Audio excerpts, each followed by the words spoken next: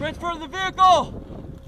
Engage that vehicle. Soldiers from the 25th Infantry Division's Stryker Brigade pull out all the weapons in their war chest for a platoon live fire exercise at Hawaii's Pohakuloa training area.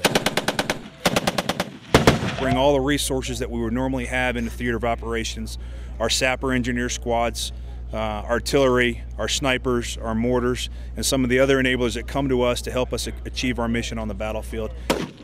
Strykers and infantry provide cover fire as engineers work to clear a trench, and a dismounted assault team moves on an enemy stronghold.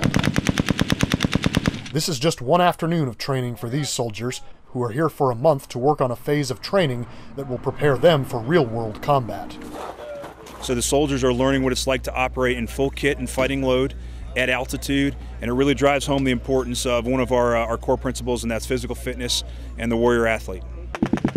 We're going to ranges left and right. Uh, we're getting up 05 and not getting to bed till probably you know late in the evening, but it's it's all going to be worth it because the training is going to lead to the safety and the survivability of our men. I'm going to have Biggs and Morris team bout up through the objective.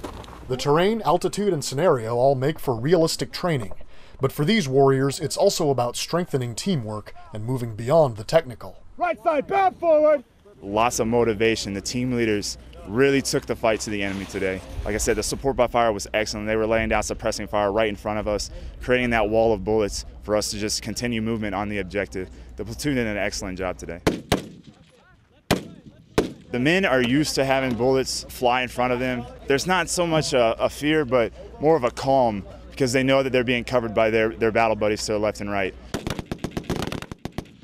And once we can get after understanding the science of our weapon systems, understanding how to employ them, what they're capable of, we can really start to practice the art of employing those weapon systems at the leader level.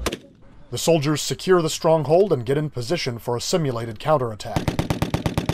Finishing a full scale attack that gave the soldiers a chance to work together as a well oiled machine. Tech Sergeant Michael Jackson, Pohakuloa Training Area, Hawaii.